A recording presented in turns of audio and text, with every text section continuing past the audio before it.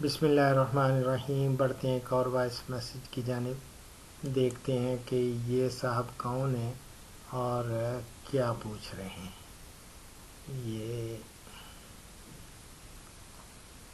देखते हैं जी ये सेवन ज़ीरो टू। ये तो कोई क्रॉप लग रही है या को पौधे हैं उनका पूछ रहे हैं। हाँ जी।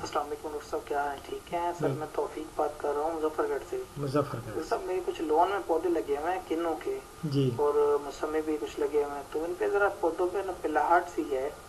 तो इनमें जो है ना मैंने अमोनियम सल्फेट भी मतलब इस्तेमाल की है 200 ग्राम ना। तो आपने मतलब एक वीडियो में बताया था वो मैंने यूज़ की है। तो अब सर इनकी पिलाहट नहीं चाह रही। तो इसके बारे में अगर कुछ हो आपके पास तो ज़रा मुझे एक्सपीरियंस वो तो शेयर कर दें मेरे साथ।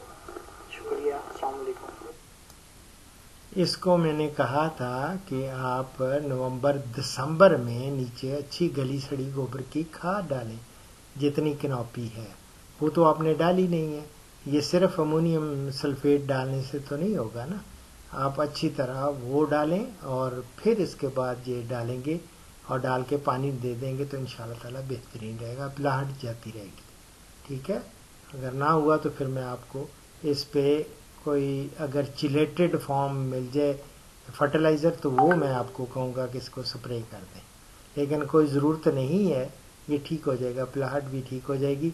आप नीचे अच्छी गली सड़ी गोबर की खाद अभी भी बिखेर के अच्छी तरह जितनी कनौपी बनती है और इसको गोडी करके फिर उसके अंदर बेशक 200 ग्राम और 300 200 gram ammonium sulphate, ammonium nitrate, ammonium sulphate या यूरिया जो भी है वो मिला के पानी दे दें। इन ताला पिलाहट जाती रहेगी। दुआ भी करूँगा, ठीक होएगा अल्लाह अकबर कबीर अल्लाह सल्लल्लाहु अलैहि